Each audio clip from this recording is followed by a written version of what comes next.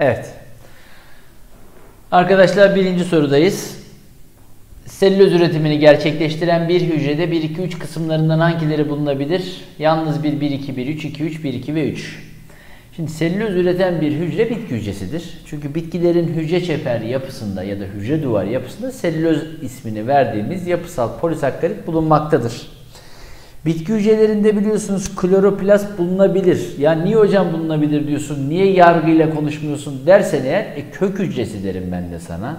Epidermis derim sana. Phloem derim sana. Bu saydığım hiçbir hücre grubu fotosentez yapmadığı için kloroplast içermez. Golgi cisimciği bulunabilir arkadaşlar. Salgı mesela reçine gibi, tanen gibi salgı yapan salgı doku hücreleri var arkadaşlar. Hücre çeperi zaten bütün bitki hücrelerinde olduğu için cevabımız 1, 2 ve 3'tür diyoruz. Evet. İkinci sorudayız. Yukarıda verilen organellerden hangilerinde dehidrasyon olayı gerçekleşemez, gerçekleşmez? Yalnız 1, yalnız 2, 1 ve 2, 1 ve 3, 2 ve 3. Arkadaşlar dehidrasyon dediğiniz şey monomerlerden polimerin oluşumu ve suyun açığa çıkması.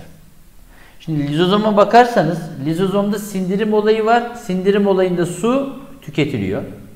Golgi cisimcine bakarsanız birçok molekülün dehidrasyon yoluyla üretildiğini görebilirsiniz. İşte e, işte glikoprotein, fosfolipid, glikolipid, lipoprotein tarzında e, o moleküllerin üretimi burada gerçekleştiriliyor. Dehidrasyon var. Ribozomda da protein sentezi gerçekleştiriliyor. En kadar amino asit tüketilip protein artı su yani su açığa çıkıyor. Küçükten büyüğe doğru gidiyoruz. O da bir dehidrasyondur. O halde arkadaşlar lizozomda dehidrasyon olayı gerçekleşmez. Evet, üçüncü sorudayız.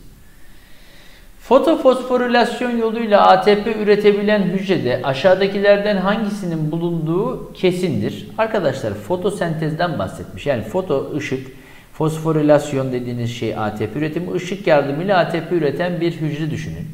Bu hücre bitki de olabilir, bu hücre e, öglene de olabilir, bu hücre alg de olabilir, bu hücre bakteri de olabilir. Şimdi dolayısıyla prokaryot ya da ökaryot olabileceği için kesinlik olarak ben direkt denizliği işaretleyebilirim. Çünkü bakteri dersen kloroplast yok. Bakteri dersen lokoplast yok. Bakteri dersen mitokondri ile kromoplast yok. Çünkü bu organellerin hepsi ökaryotik hücre tiplemesine e, özgüdür. E, ve siz de çok iyi biliyorsunuz ki prokaryotlarda sadece ve sadece ribozom organeli bulunmaktadır. Evet çok çok önemli bir soru tiplemesiyle karşınızdayız. Bu soruya dikkat edin. Nasıl çözdüğümü de iyice izleyin ve dinleyin. ÖSYM'nin çok sevdiği soru tiplerinden bir tanesidir bu. Aşağıdaki düzenekte ağzı seçici geçirgen zarla kapatılmış huni içerisinde maltoz çözeltisi bulunmaktadır ve huni saf su dolu kaba bırakılıyor arkadaşlar. Şimdi bakın.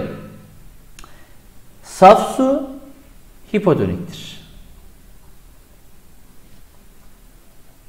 Maltoz disakkarittir. Disakkarit olan bir şey herhangi bir biçimde zardan geçiş yapamayacaktır. Ama saf su hipotonik olduğuna göre huninin içerisine doğru su geçişi gerçekleşecektir. Hunideki su miktarı artacaktır.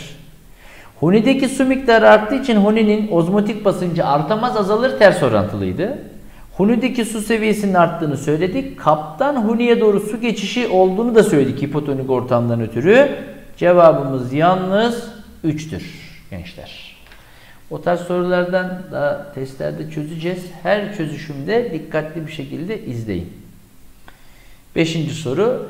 Ribozom ve lizozom organellerinde 1-2-3 özelliklerinden hangileri ortak olarak gözlenmektedir demişiz. Arkadaşlar bir kere Lizozomda sindirim var, ribozomda protein sentezi var.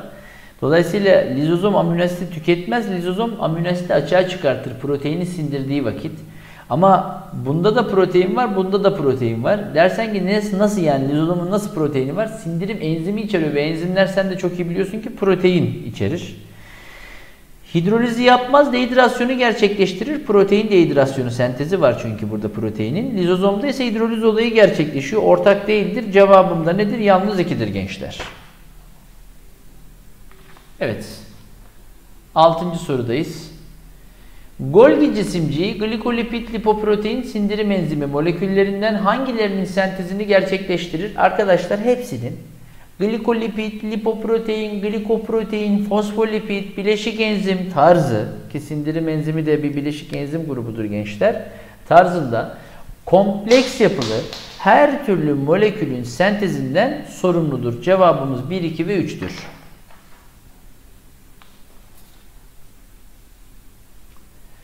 Hücre zarı ile ilgili 1, 2, 3, 4 ifadelerinden hangileri doğrudur? Hücre zarı canlıdır.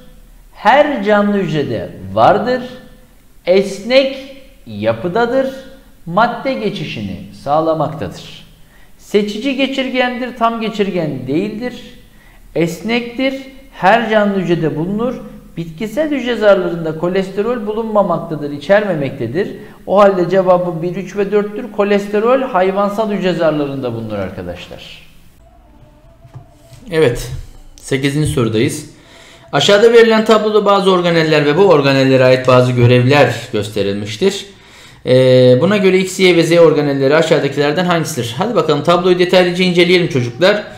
X organeline baktığınız zaman hücre içi sindirimden sorumlu. Hücre içi sindirimini kim yapar? Tek kat zarla çevrili lizozom organeli yapar. Y organeline baktığınız zaman madde iletiminden sorumlu endoplazmik retikulum olduğunu görüyorsunuz. Z organeline baktığınız zaman enerji üretebilme özelliğine sahip mitokondri diyebilirsiniz. Cevap burada Adana seçeneğidir. Fakat şöyle bir şey de olur arkadaşlar. Bakın bunu unutmayın.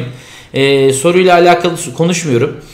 ATP üretimini sağlayan sadece ve sadece mitokondri organeli değildir. Bir başka organel çeşidi olan e, plastit çeşitlerinden kloroplast da fotofosforilasyon yoluyla yani ışık enerjisi yardımıyla ne yapıyor? ADP'den ATP molekülünün üretimini gerçekleştiriyor. Bunu da bir yere not olarak alırsanız sevinirim.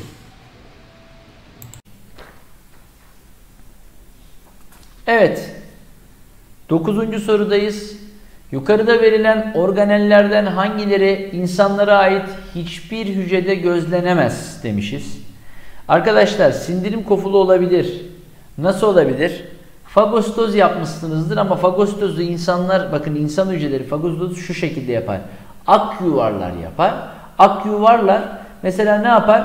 Ee, bir aküvar çeşidi gider bakteriyi bir hücre başka bir hücreyi bakın mikrobu fagostoz yoluyla alır lizozomla birleştirir ve o besin kofuluyla lizozomun birleşmesi sonucunda sindirim kofulu olabilir. Fakat insanlarda fotosentez özelliği olmadığı için kloroplast yoktur. İnsanlar kontraktil kofulu içermez. Fazla miktarda suyu dışarı atan e, amip, öglena ve paramesyum gibi kontraktil kofulu içermiyor. Sentrozom var arkadaşlar. Sentrozom içeren e, mesela sperm hücresi var demiştik daha önceki testlerden birinde söylemiştik hatırlarsınız. Ha, yumurtada yok, al yuvarda yok, efendim nöronda yok doğru ama sperm hücresinde var mesela. O zaman hiçbir hücrede gözlenmez derken 2 ve 3'ü dahil edeceğiz. 10. sorudayız. Aşağıda verilen kromozom formüllerinden hangisine sahip hücredeki otozom sayısı diğerlerine göre daha fazladır? Arkadaşlar 2n eşittir 46 tane kromozomlu bir hücreye sahip olan e, canlıyız biz. Mesela bu karaciğer hücremiz böyle diyelim tamam mı? Ne yapacağız? Dişi bireylerimizde 44 artı XX, 44, 45, 46. Erkek bireylerimizde 45, 44 artı X, Y şeklinde göstereceğiz. Şimdi arkadaşlar buradaki 44'lerden kasıt nedir? Otozomdur. Yani vücut kromozomudur. X'ler Y'lerse gonozomdur.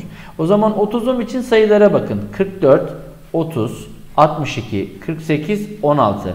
En fazla hangisi oluyor arkadaşlar? 62. Size deseydi ki gonozom sayısı en fazladır diyemez. Çünkü hepsinde ikişer tane gonozom var. Dikkatinizi çekerim. Cevabımız Ceyhan'dır. 11. sorudayız.